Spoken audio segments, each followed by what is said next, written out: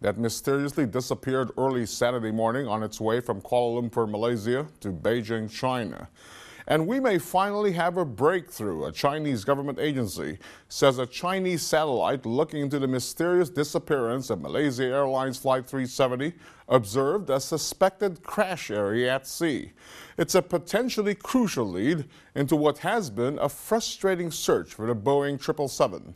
China's State Administration for Science, Technology and Industry for National Defense announced a discovery, including images of what it says were three suspected floating objects and their sizes. Now, the authorities admit the satellite captured the images in the Strait of Malacca on March 9th, or a day after the plane went missing. Well, this isn't the first time that authorities have announced they were looking into objects or oil slicks that might be tied to the plane. Also on Wednesday, officials announced they had once again expanded the search area. It now covers nearly 27,000 square nautical miles. Well, that's more than double the size of the area being searched just a day before. Confusion over the search has prompted Vietnam to say that it's pulling back on its search efforts until Malaysian authorities come up with better information on where to look for the plane.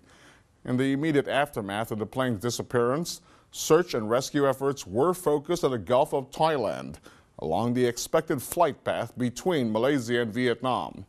Then Malaysian authorities suddenly expanded their search to the other side of the Malay Peninsula in the Strait of Malacca, where search efforts now seem to be concentrated.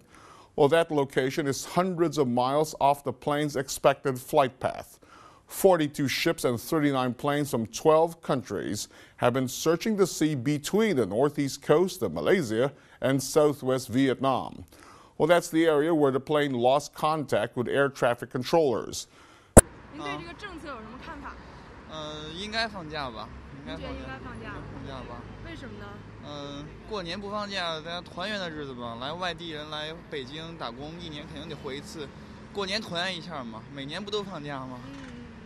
那对于您来说，春节有什么安排吗？呃，回家过年呗。